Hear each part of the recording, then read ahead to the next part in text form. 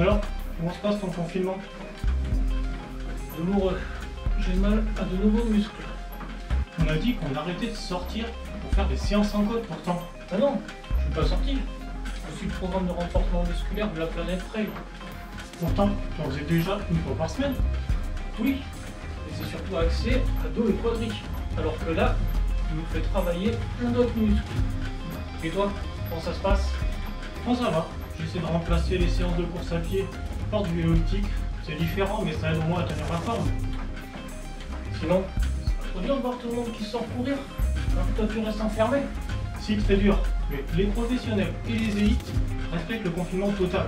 Alors pourquoi moi, un judge Michelin, je m'autoriserai à sortir T'as raison, continue à pédaler. Et toi, à faire tes séances de renforcement musculaire? Sérieusement